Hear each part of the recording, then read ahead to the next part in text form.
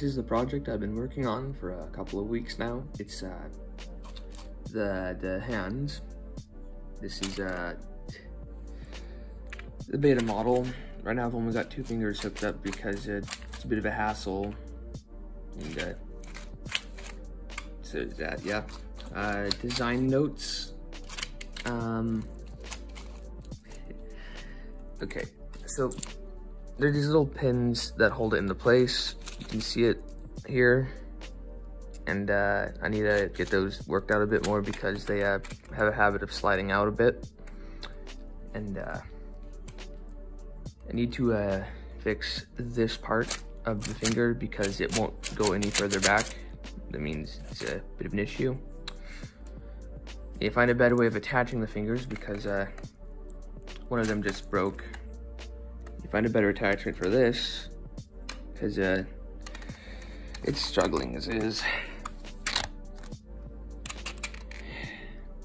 Uh, this part was printed in two pieces because my printer isn't tall enough for uh, for all of it at once. There are knuckle joints, not knuckle joints, there are little pegs keeping the knuckles attached. And then uh, originally there were these little nubs on the top of this that rubber band would go around. You can see the, what's left of one here. Due to the way it was printed, those all fell off, and so I had to uh, use pins to hold them in place. Uh, there's a string that runs through the bottom, and uh, yeah, just basic notes. I have to rework the thumb because uh, the joint piece was weird, broke. I had to glue it together. Uh, this part, which is supposed to have a little loop here, snapped off. So I had to drill a hole through the tip of the thumb. Um, so yeah, there is no splay function. The fingers only go up and down. Uh,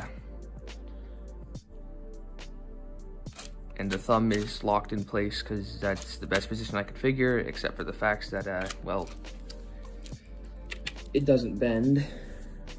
Well, not far enough while the fingers are attached. Yeah, it gets in the way. Uh, but uh, yeah, just final notes. I need to uh, rework it so that everything works better together. Maybe rework the support so that it isn't resting on top of my hand, or at least find a better way to get it working. Because uh, if I do add a display function, I'm going to need to be able to move my fingers sideways without having to move it down as well.